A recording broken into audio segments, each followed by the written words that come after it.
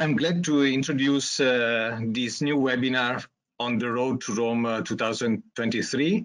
The, the webinar uh, is by Philip Hughes and uh, he will speak about uh, quaternary glaciation in the Mediterranean area.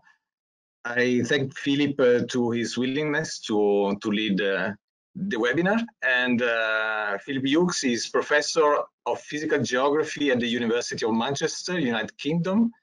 He obtained his first degree in geography at the University of Exeter, and uh, he was followed by, followed by a master degree in quaternary science and then a PhD in geography, both at the University of Cambridge, Darwin College. His PhD was on the glacial history of the Pindus Mountain in Greece. This was then followed by a doctoral project examining the glacial history of Montenegro at the University of Manchester. He has since worked on glaciation across the Mediterranean mountains and the British Isles. In this research, he has uh, utilized uh, uranium series dating and cosmogenic nuclides to date glacial landforms. He has also published on global glaciation and stratigraphy in quaternary science and in 2011 Philip also co-edited with uh, Jürgen Ehlers and Philip Gibbard the highly successful Elsevier volume Quaternary Glaciation, Extent and Chronology, a closer look. I just uh, a couple of uh, recommendation for the audience. Uh, I ask everybody to switch off the camera and the microphone. And uh, if somebody has questions, please book them in, in the chat the um, the webinar and also the the question will be recorded uh, and uh, let available in the in the web so thanks philip. Uh, i'll let you okay. to to present. Thank you. Okay. Everybody hear me okay? Let me know if there's any technical issues and I don't come across clearly. So as uh, Giovanni said, I'm Phil Hughes and I'm from the University of Manchester. Um, and what I'm going to do today is spend about 40 minutes or so um, on a tour of the Mediterranean mountains. Um, this is where I've made most of my research career, starting off from my PhD at Cambridge in the in the Pindus Mountains. Um, and then I went to Manchester, as Giovanni said, to work in the Balkans further north in Montenegro. Um, and then more recently, I've been in Iberia um, and Morocco in the last few years. So what I'm going to do today, I'm just going to give a little taster of some of the sites I've worked on and some of the key ideas. Many of much of this is already published. So for some of you in the room, it'll be old news. But what I'll hope to do is try and tie it all together. Uh, effectively, I will end more with questions than I will with answers. So let's first of all start with the um, modern glaciers in the Mediterranean. It gives us a context for understanding the Pleistocene past. Now, of course, there aren't many glaciers in the Mediterranean today, and where they are present, they're very small, um, especially in southern Europe. Some of the larger glaciers exist in east of Turkey and the Pyrenees, but this gives the pattern and distribution of modern glaciers and ice patches. Now, some of these may have melted since I last did this talk. I'm not aware of the current state of some of the, the glaciers indicated here.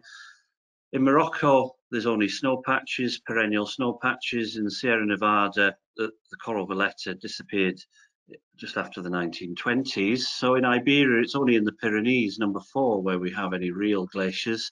In the Alpes Maritimes, I don't know what the state of your own Pennine Glacier is. You'll know more than me. I don't know about the Calderone Glacier anymore, whether it's still surviving or not. The same with the Triglav Glacier, number seven. But in eight and nine in the Balkans, we now know there's many more small niche glaciers than we previously thought. In Albania, for example, there's tens of small niche glaciers, um, and there's a, a, surviving glacier at Debeli Namet in, in Montenegro.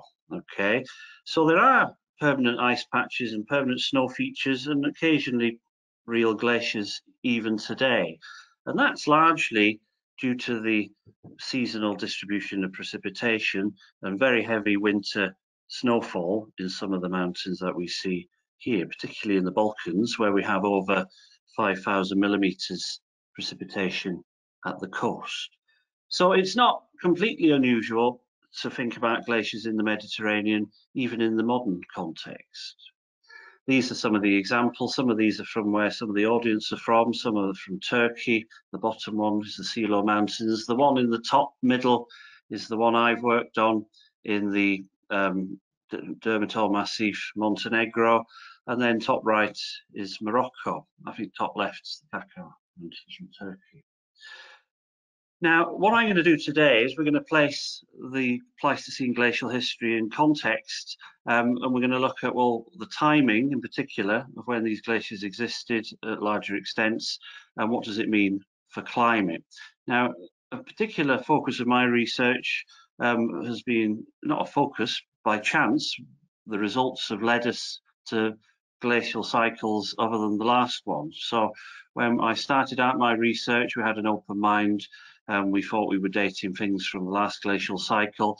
But as you'll see in the next few slides, in some parts of the Mediterranean, um, we have some older glacial deposits, whereas in others, um, that's in Greece, for example, whereas in other parts of the Mediterranean, like Morocco, I only find late Pleistocene, last glacial cycle. So we find this in other people's work as well, um, from the authors who work in Turkey through to Iberia. Different records, whether they're real or whether they're an artifact of the dating techniques, we're still grasping and we're developing as the science progresses. But as I say, there's lots of people now working on the Mediterranean glacial problem, and I expect in the next decade we'll have some great advances, and we're already getting there from different teams working on different regions. So the last glacial maximum, depending on how you define it, some people 21,000, where I go for 25,000. That's the classic. And of course, in some parts of the Mediterranean, they represent the biggest glaciers in the mountains that are recorded. Whereas in others, marine isotope stage two and the last glacial maximum is a small player in the Pleistocene glacial history.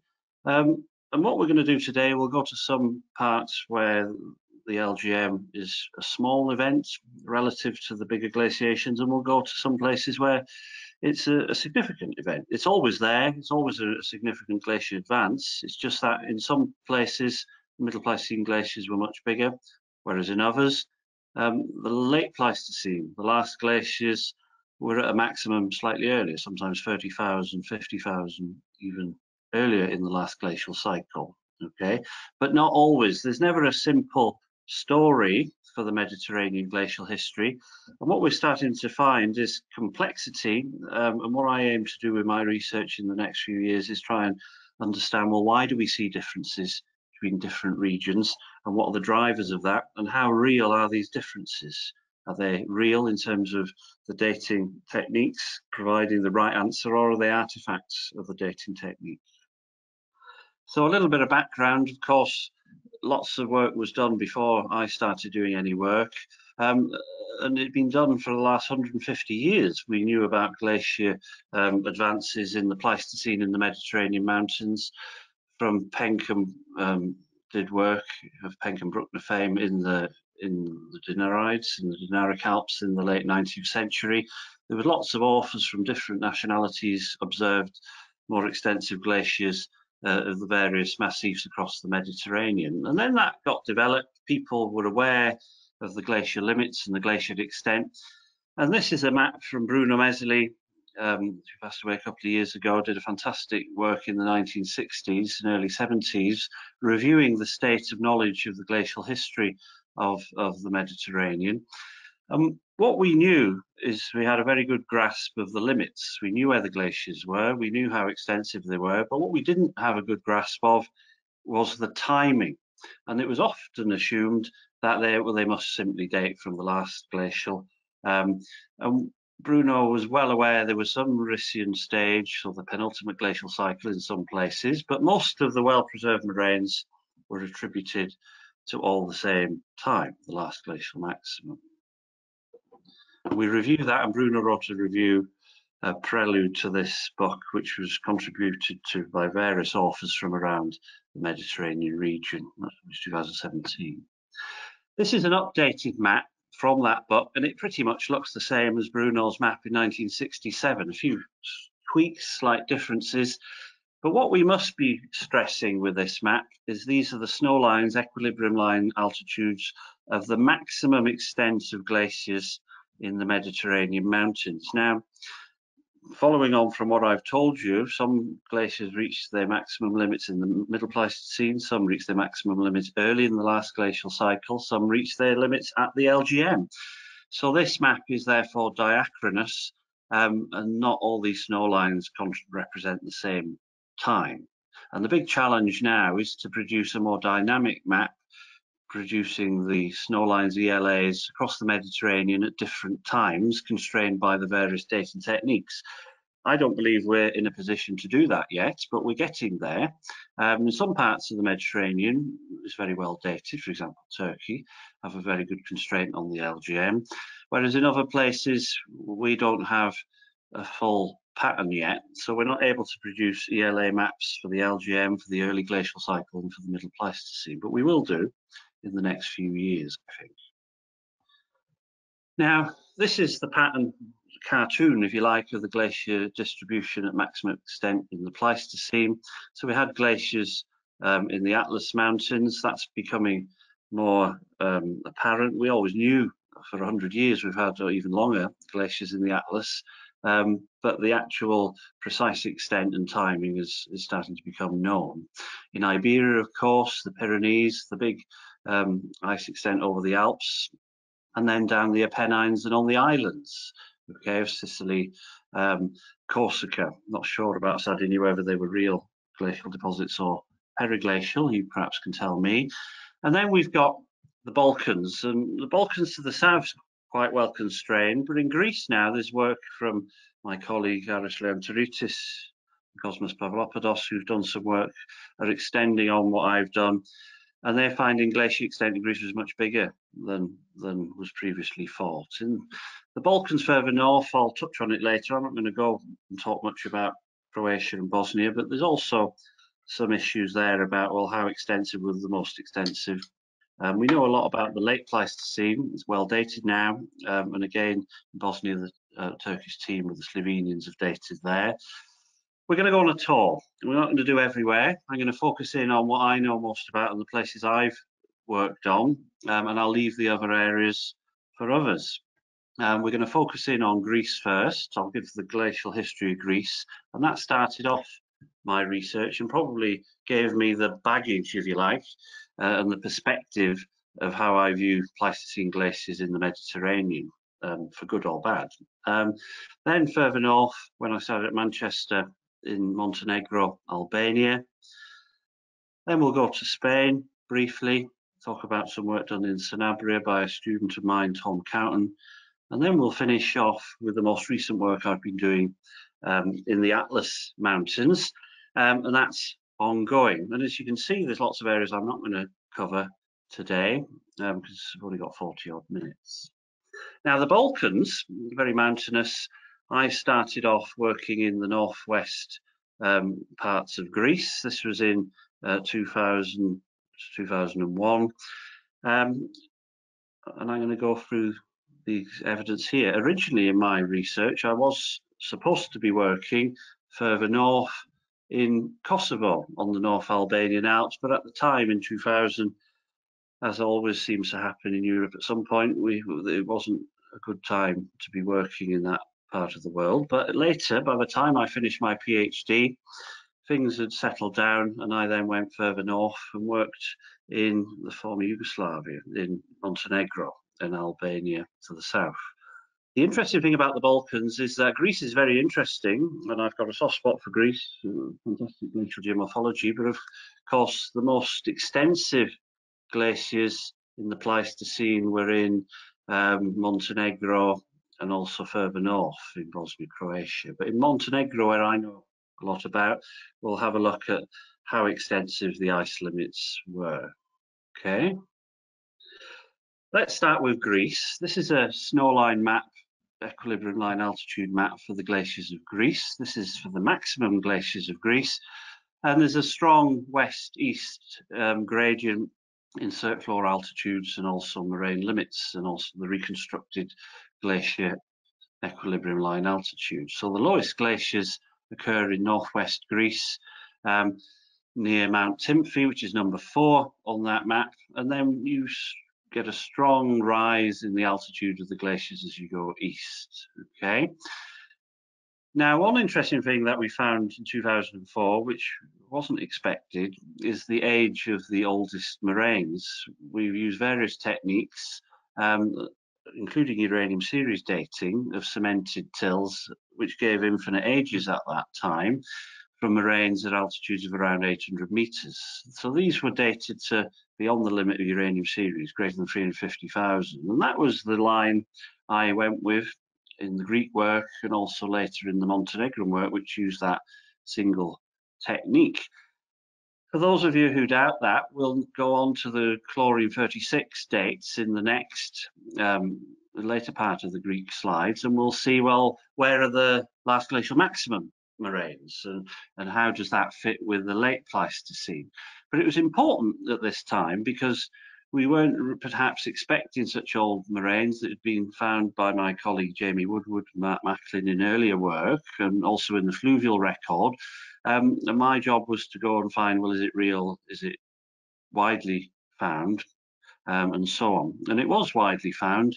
Um, and we found evidence of, a late, of an early uh, middle Pleistocene, well, not early Pleistocene, it was middle Pleistocene. We correlated it with marine isotope stage 12, so equivalent to the Elsterian in Northern Europe and the Anglian. But we didn't really have precise ages. We simply had a bracketing age of these cements from multiple sites, often clean cements, so there was no issue with contamination and so on, which suggested they're old. We also had soil evidence suggesting deep weathering of the moraines. I'll show you a picture from Montenegro.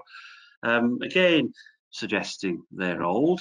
There's also Mousterian artifacts on some of these moraines, which isn't Middle Pleistocene, but it's early, earlier than the LGM, and the archaeologists find early um, dated um, artifacts on moraines which we had previously correlate with the Middle Pleistocene, which was reassuring. This is the geomorphology. The mountains were covered by ice caps. Some of my earlier glacier limits might need revising now. Now I'm older and wiser. They're still extensive, but they may have been more ice caps. I tended to map ice fields. But as I say, newer students, PhD student Aris Leontaritis from Harokopio University has suggested glaciers were even bigger than I first suggested, and I agree. So this is the sort of situation on Mount Tymphy, and this is the map and this shows the different extents during the different glacial cycles, which is quite unique, um, not just to the it's not unique to the Balkans. We find the same in Montenegro, but it's not found everywhere. For example, in certain parts of the Mediterranean, we only find the last glacial cycle, and we find sometimes just remnants, patches, MIS6 moraines, for example. Anyway, this is the pattern that was mapped by me in 15 or so years ago, um, where we have an extensive Skamnellian stage glaciation, which we correlated to marine ice stage 12. Some people have suggested, well, is it older than that? It may well be, it could be, um, but I've got no evidence to suggest a stage 16 or 14, so we're going with 12 at the moment. We've got a penultimate stage, marine isotope stage 6. You'll note that other glacial cycles correlating with 8 and 10 seem to be missing in the sequence. It doesn't mean there weren't glaciers, it's just that they were smaller than in MIS6. And then you're asking, well, where are the last glacial cycle moraines in Greece? Well, at the time, we didn't have good dates on these limits. We simply said, well, these are the highest parts of the valleys in the cirques must belong to the last glacial cycle. And we had quite limited geochronological control about that, but we did have good chronological control on the Middle Pleistocene. And there came the work of my student James Allard, who's recently completed his PhD, to test the hypothesis that we had that the moraines in the highest cirques and valleys must date to the last glacial cycle, to the last glacial maximum. As I say, we didn't know that for sure before. It was simply on morphostratigraphy and the fact that the oldest moraines were thought to be Middle Pleistocene. Um, and James found through use of chlorine 36 on limestones that indeed the highest moraines did give ages which corresponded with what we tend to think of close to the last glacial maximum. Slightly earlier um, in MIS2, between 29,000 and 25,000, but pretty much where you might expect um, the largest glaciers of the last glacial cycle to date from. But that's important because, for example, if you can see my cursor, what it proved was that what we'd lumped in here as the Tymphian, as the last glacial cycle, is now confirmed to be the last glacial cycle. And what's interesting is that what cosmogenic ages do you get off the lowermost moraines? We get reversing of the dating sequence. We get good geochronological control here, 29,000, and then an inset moraine of 25,000. But when we get to the lower old deposits, we get ages which make no sense. For example, we get some Holocene ages in these, and that represents exhumation of the moraines and destabilized, uh, eroded lags of sediments. Okay, but the most important outcome of this work was to have a clear constraint on the last glacial maximum and the deglaciation of Greece. And this is what we think from James's work was the extent of glaciers at um, MIS2. Okay, and you can see we've got two phases.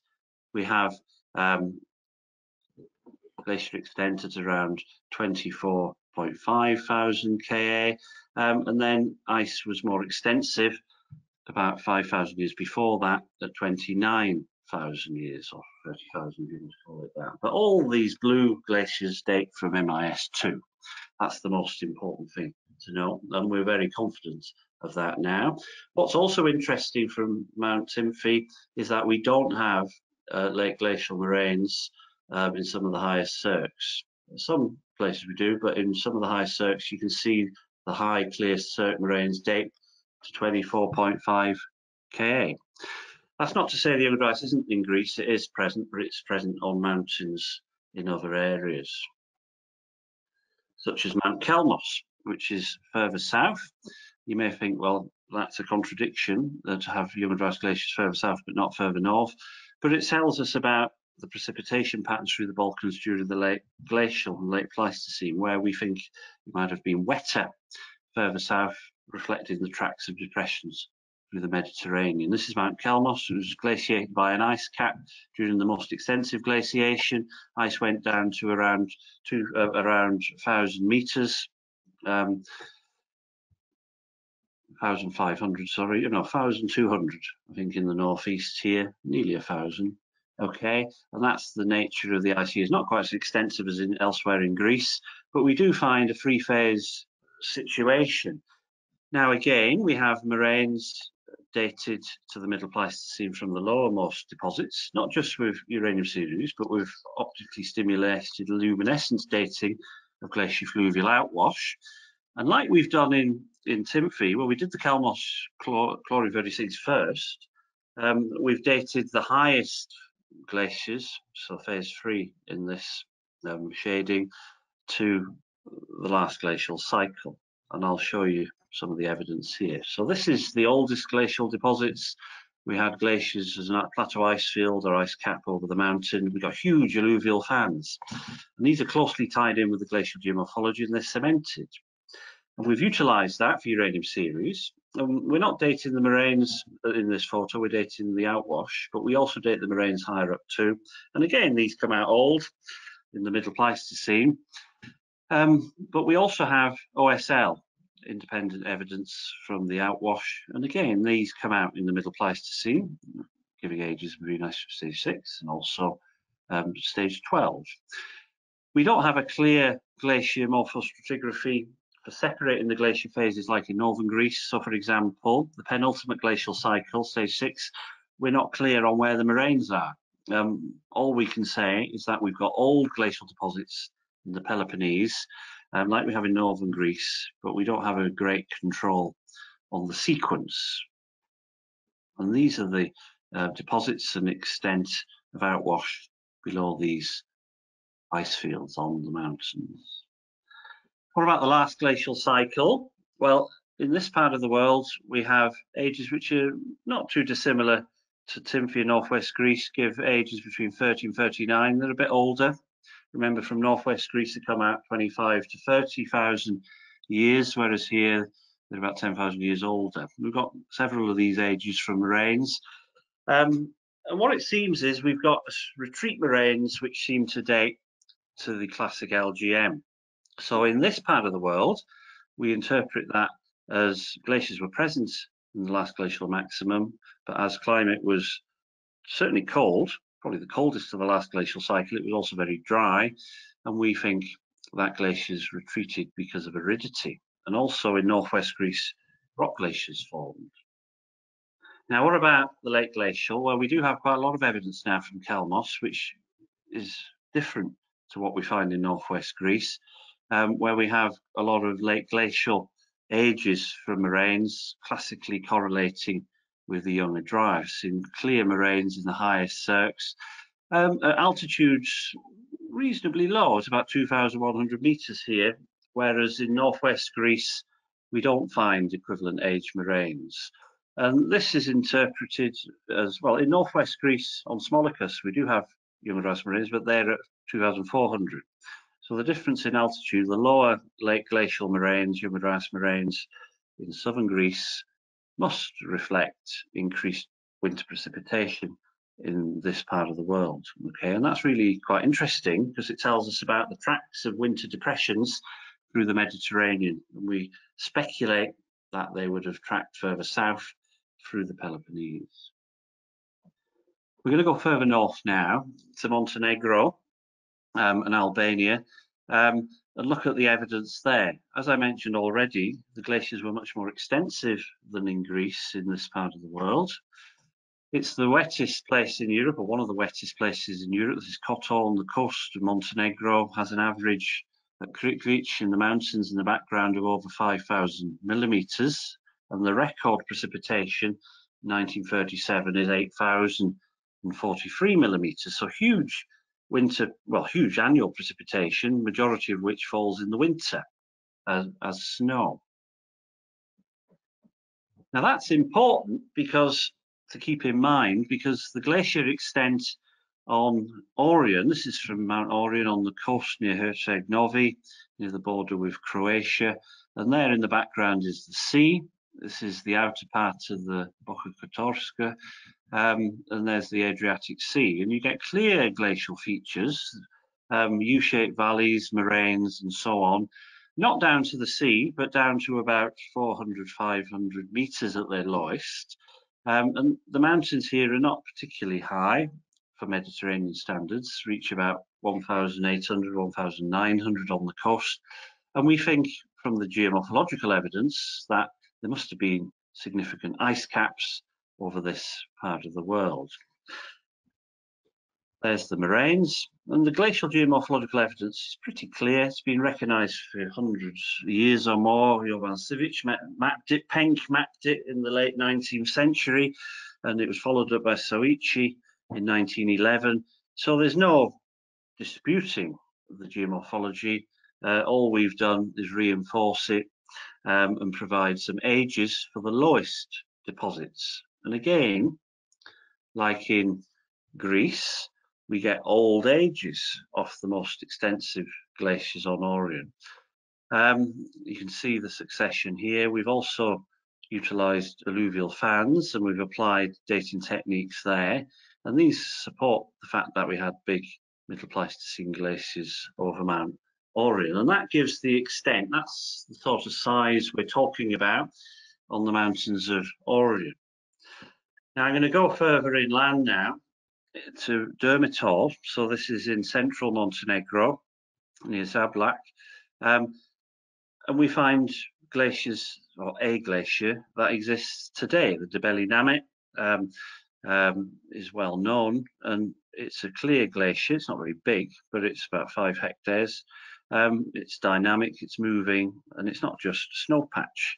And there's been recent observations from the mountains of northern Albania, uh, from me, Milovan Milivojevic, and Emil Gachev, and there's many more of these existing glacierets, niche glaciers or glaciers, whatever you want to call them, in the mountains of the Balkans. So it's not difficult to imagine a significant expansion of ice during the Pleistocene. But what we're seeing from the Balkans uh, is that the ice was pretty extensive. So even with the depressions of temperatures we know from the Pleistocene, um, you must have had sustained precipitation even in the Pleistocene cold stages. And we're not saying it was as wet as today, but we're saying you're still talking about substantial precipitation. It's hard to be as wet as today if it's 5,000 millimeters, but even if you have a few thousand millimeters with a depression of temperature of 5 to 8, 5 to 8 or 10 degrees Celsius, you would produce extensive ice masses in Montenegro. Now, what about the Pleistocene in central Montenegro? Well, it's clear from the evidence from the work I've done, but also from the work that was done 100 years before I went to Montenegro by many of the, the previous researchers that there was extensive glaciation. All we've done is provide a little bit more precision with the limits and provided dating. And again, we think it was middle Pleistocene. We get infinite ages off the oldest deposits. And we also think there was uh, penultimate MIS6 extensive glaciation in Montenegro. and also, of course, the last glacial. People say, well, where were the last glaciers, the last glacial cycle glaciers, the LGM? Well, they were pretty big. Uh, they were 10 kilometers long. They just weren't as big as the Middle Pleistocene ice caps. So when I say the Middle, ice, Middle Pleistocene glaciers were the biggest, people, I'm not saying the Late Pleistocene glaciers weren't significant. They were. They just look smaller on the map than the Middle Pleistocene ones. Supporting evidence for the old Middle Pleistocene glaciers is also from the soil evidence. There's very deep weathering some of the old moraines, um, and that is indicative of weathering through multiple glacial interglacial cycles. We also got the uranium series dating. And what I've not shown you here is the most recent work from Montenegro. We have dates now from Durmitor, um, and we have classic uh, LGM through to deglacial ages in the mountains of Durmitor, which, like in Greece, is consistent with the, the, limits that we've mapped as late Pleistocene in the earlier work. So the chlorine 36 helps um, with the geochronology now. Of course, with such old moraines, you'll never really be able to get any grasp of the exposure history um, because of the dissolution of the limestone. It's, it's, it's hard enough dating late glacial and LGM moraines uh, on limestone terrains. Um, and it's been shown even in the Balkans, you can get ages which are too young. Um, so it's now impossible to apply cosmogenic dating to the old deposits. So we have to be imaginative, use uranium series, use optically stimulated luminescence on outwash, and so on. This is the extent of ice uh, landforms of geomorphology in central Montenegro. We get extensive glaciation. Some of this is late Pleistocene, and then it's superimposed onto a glacial landscape which is very old. Okay, it does raise questions about the degree of limestone weathering, on, especially on the old um, terrains. Uh, how can we reconcile limestone weathering rates with the glacial landscapes that we see? And that's a problem we're going to have to grapple with um, and how we interpret karst landscapes in the glacial context. Anyway, I think the key thing to understand is there were extensive glaciations of the mountains of Montenegro. And the center of the Middle Pleistocene Montenegro ice cap doesn't have classic ice molded features. A lot of it's very um, weathered because it's very old, of course. Um, but when you step back and look at the landscape as a whole and match up where the moraines are, then we must have had a big ice cap over large swathes of the Montenegrin landscape. And we think, as with Greece, this occurred during marine isotope stage 12. And there's other independent evidence which is suggesting this is the most likely likely candidate. There's also work further north. You can see there's some Croatians in the room from work I've done with Ljerka Marjanac in, in the Velebit. Ljerka had ideas about even very extensive ice over large parts of Croatia. I've seen some of the evidence, and I think there is some evidence of very extensive glaciers and low-level glaciers in parts of Montenegro, but it's not always clear. It's difficult to interpret. It's not very well preserved in places. And there's been recent work showing that the late Pleistocene moraines do, in fact, date from the late Pleistocene. There's people from Slovenia and um, um, Turkey recently dated those, showing that they do date from the late Pleistocene in the higher parts of the Velebit. I'm not going to go there for this. We're going to go to Iberia next. Um, and we're going to talk about some work I've done in Northwest Iberia with a student of mine, Tom Cowton. Now, this is a, a snow line map, an ELA map from um, Iberia, and it effectively, the snow line, wherever you go in the Mediterranean, again, this is uh, diachronous, it dates from different times, depending on when the glaciers are at their maximum. But all these snow lines right across the Med look exactly like the precipitation pattern maps that we see in the Mediterranean today.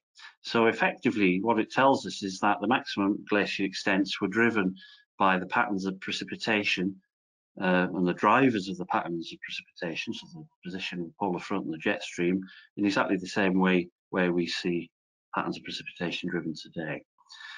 So in northwest Iberia, we had snow lines which were remarkably low for this latitude of around 900 meters, whereas in the far south, in the Sierra Nevada, snow lines were as high as 2,500 millimeters.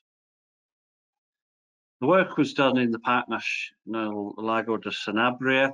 Um, there's been other workers which have followed on since, and I'll highlight their work in a minute and mention their names. Um, and Tom Cowton's work was to establish the extent, um, not so much the timing, we did a little bit of dating, but not much on the, um, the timing of the last ice caps of this part of the world. Now, the geomorphology is remarkable uh, for this part of Spain. It doesn't look like Spain, um, looks more like where I'm from in Wales. Um, but we have classic U-shaped valleys, evidence that ice overrode the mountain tops um, and completely submerged the landscape. So it has a geomorphology more akin to what I'm used to in, in the British Isles. The question was, well, what age is this? Is this from the last glacial cycle? And we try to avoid going there with our Greek eyes on, because of course in Greece and Montenegro we found Middle Pleistocene glaciers very extensive, but we went with an open mind, not knowing what to expect in Spain. The moraines are very clear, very well preserved, very um, pronounced, um, and these have been dated in recent times by Laura Rodriguez Rodriguez after we did our work, um, and she found that these all date to the last glacial cycle, and that's evidenced from of course the lakes, which was done in previous work. In our work, we use the lake radiocarbon evidence um, to argue that these moraines and boulders formed during the last glacial cycle, possibly at the last glacial maximum. And we had an ice cap here which dated to the late Pleistocene. And as I say, the lake sediment evidence, the radiocarbon dating over the several decades of work by other researchers seemed to point that this must be late Pleistocene and not older. And Laura's work with her co-authors confirmed that with cosmogenic dating, boulders like this, and also optically stimulated luminescence.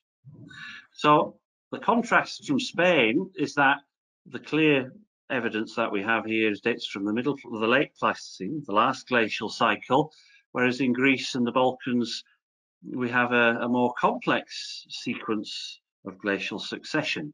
There is Middle Pleistocene glacier evidence in Iberia, um, but it's not much bigger. The glaciers were not much more extensive than the late Pleistocene glaciers, um, and these have been dated in the Cantabrian Mountains. They're known from the Pyrenees, date to marine isotope stage six, with some hints of older Middle Pleistocene glacial extents, but the glaciers of the Middle Pleistocene weren't much bigger than the late Pleistocene and in many places the last glacial cycle was sometimes bigger.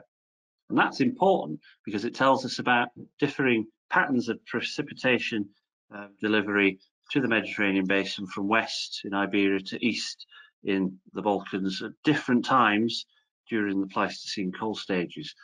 Do I know exactly what was going on? Not yet, but the next few years, hopefully, we'll try and get a more sophisticated analysis of, well, what was happening at different times in different glacial cycles to try and understand all of this. And that'll be helped by further dating.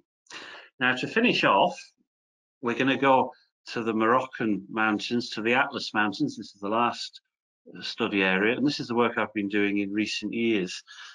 And again, we went there with an open mind, not trying to force any particular glacial succession theory onto the atlas and just see what the results show.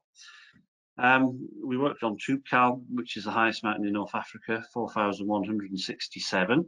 I've been working there since the 90s, but only seriously since 2007. But as with everywhere else in the Mediterranean, there's a, a long, long history of glacial research in the High Atlas. They've started off 1878. George Maw went with Joseph Hooker on a tour of the Great Atlas and noticed the moraines. Thomson in 1889 and 1899 wrote about the glacial geomorphological evidence, and that was followed up through um, the early 20th century, in particular by Manuel de Martonne, who seemed to get around everywhere in the Mediterranean, um, wrote about all kinds of different parts. Um, and, and made, made, some really important observations. And it's my view that the early research was right, almost everywhere in the Mediterranean. The early work 100 years ago, they got it right in terms of the geomorphology, observations, and so on, was spot on. Sometimes not, but usually. Okay.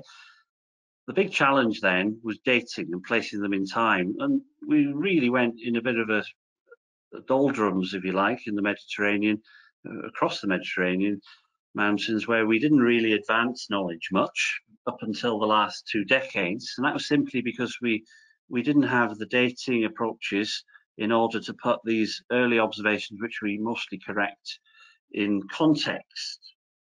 And this is just a, a quote from Joseph Thomson's work of an undoubted evidence of a glacial period in the history of the mountains in the shape of moraine heaps, warm rocks and boulders in their glens and valleys. And it's as if he was talking about the mountains of the Alps or Scotland. But no, he was talking about Morocco as early as this, this um, communication. Now, Toubkal it's volcanic it's old Cambrian rocks, Precambrian rocks, andesites, rhyolites, some granites, and we used a combined beryllium and chlorine approach. And the idea was to get an idea on the succession timing of the last glaciers of this region, or any glaciers. This is the extent of glaciation in the High Atlas. Some of the glaciers reached um, up to 10 kilometers long. There were ice fields, some um, completely sub submerged some of the plateaus, such as the Tazaghart. Um, so they weren't small, um, and they're quite extensive throughout the High Atlas.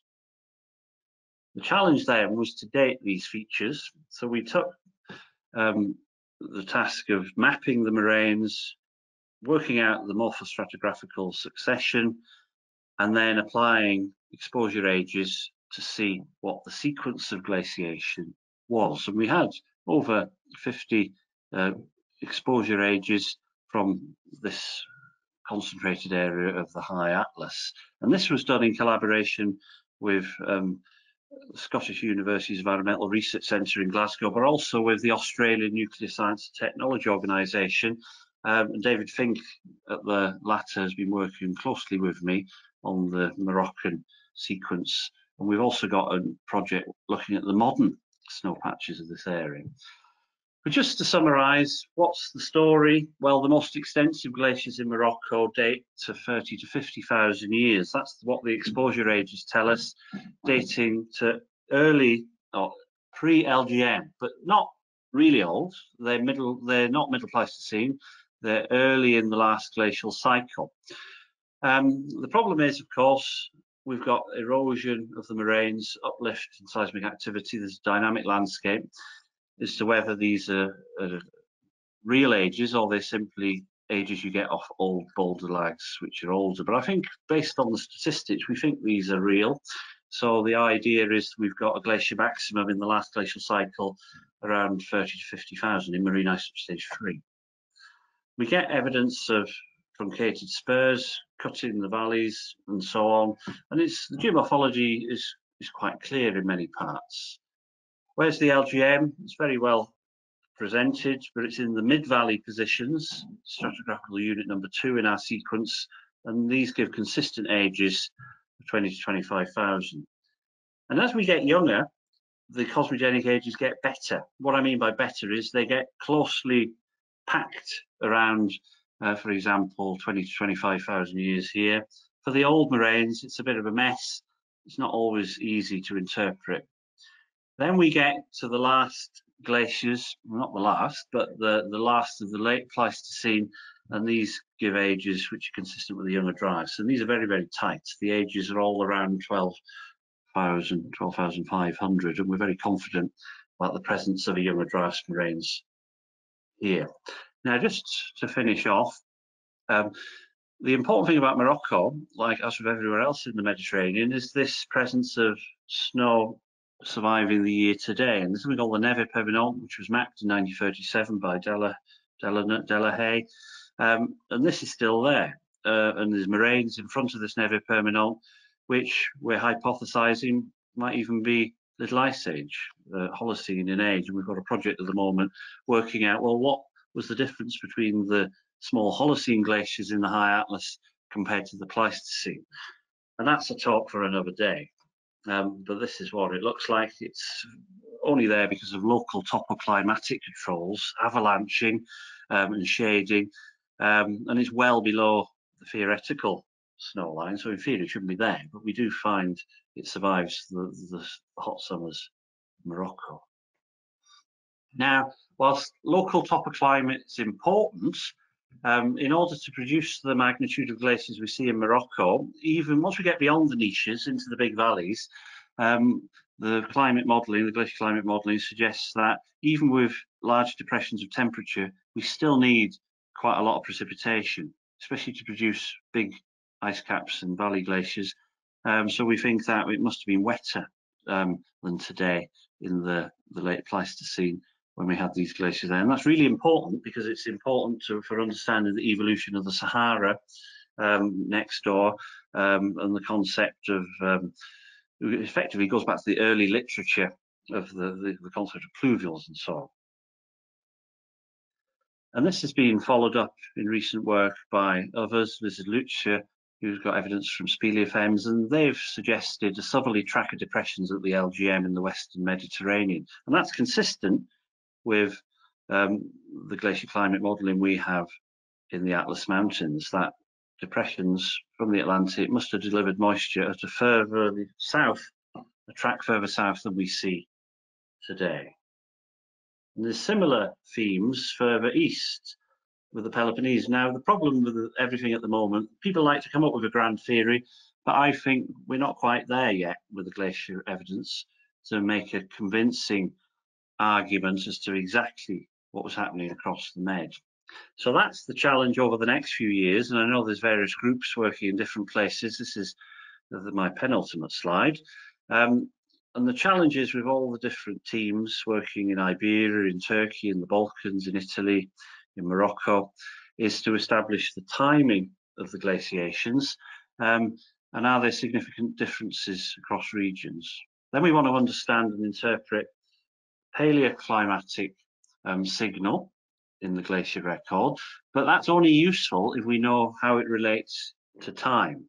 Um, so we need to make sure the geochronology is in place, and that's getting there for large parts of the, of the Mediterranean, but there's still significant areas which aren't dated at the moment.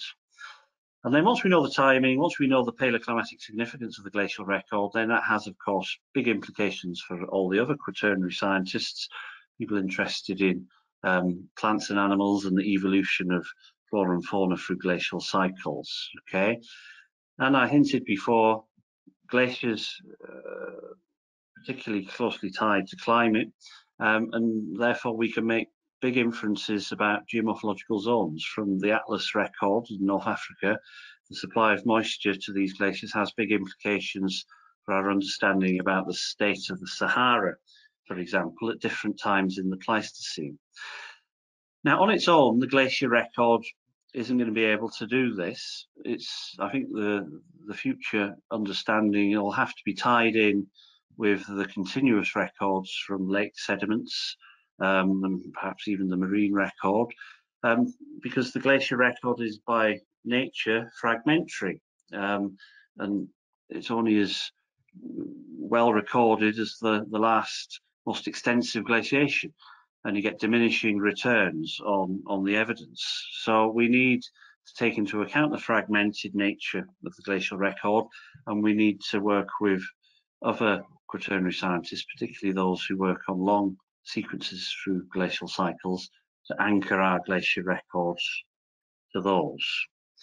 Now, my final slide, I must say this isn't all my ideas and my work. I've worked with many people across the Mediterranean. Some are listed here, some are not listed. So sorry if I've missed people out here. Um, uh, and it's very much a team effort. And of course, there's many other researchers working in other parts of the Mediterranean, and we're collectively getting there. Okay, thank you very much, and hopefully that provided you an insight into the nature of the glaciations of the Mediterranean mountains. Thank you. Thank you very much, Philip, for this very comprehensive uh, and uh, very interesting uh, seminar that you